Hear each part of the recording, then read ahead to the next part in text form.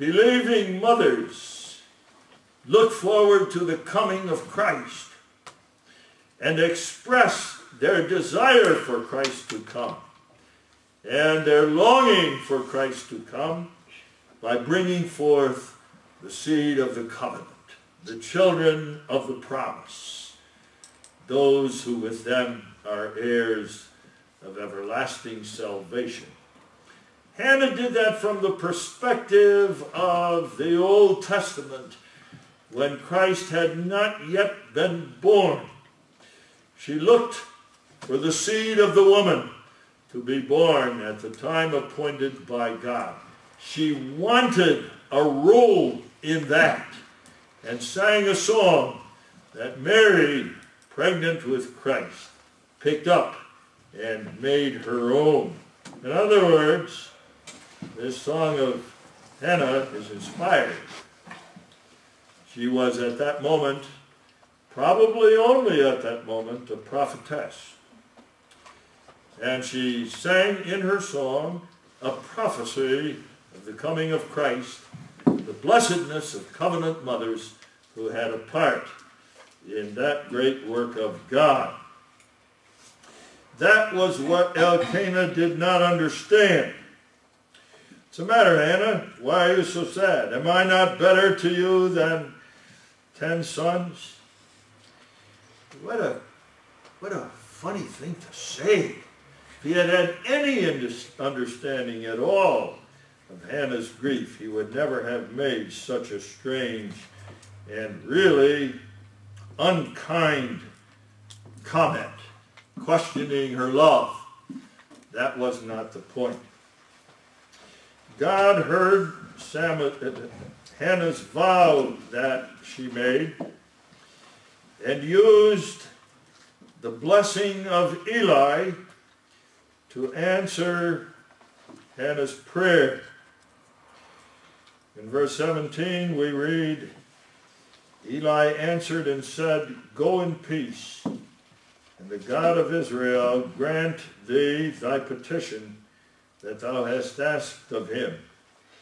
Now that was not just a pious wish on the part of Eli.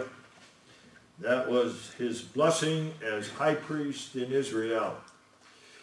And Hannah received it from Eli as the promise that she would have a child because you read in the next verse, and she said, Let thine handmaid find grace in thy sight.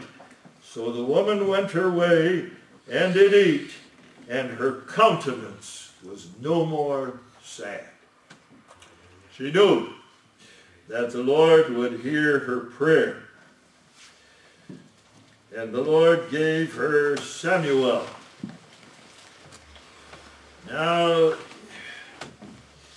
before we go into that matter of the dedication of Samuel to the Lord, I want to say a few things about Samuel.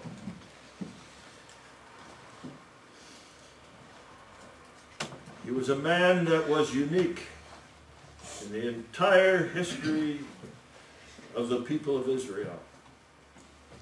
Absolutely unique. There never was one like him. There never would be anyone like him after him. That was true in the first place because part of the vow that Hannah made was that Samuel would become a Nazarite. There were not that many Nazarites in the history of the nation of Israel. We are only told of a few. There was, for example, Samson, who was a Nazarite, but who in his lust for wicked women broke his Nazarite vows. Although Samson was a child of God, don't forget that. He's listed among the heroes of faith in Hebrews 11. But Nevertheless, he broke his Nazarite vows. There were some Nazarites during the time when Jerusalem was besieged by the Assyrians. Jeremiah tells us about them in his prophecy. They were the sons of Rechab, who not only had made Nazarite vows, but kept them as well. And the only other Nazarite we know of in the scriptures is John the Baptist, who was also a Nazarite from his mother's womb. Now that, in the first place, was a very unique calling. Nazarite was one, as you know, who might not touch a dead body, who might not drink any kind of alcoholic beverage, and who might not cut his hair. Now those were only outward things, of course, but they were vows that a Nazarite took because by taking these vows on himself, he was in the midst of the nation a constant living protest against the life of the nation.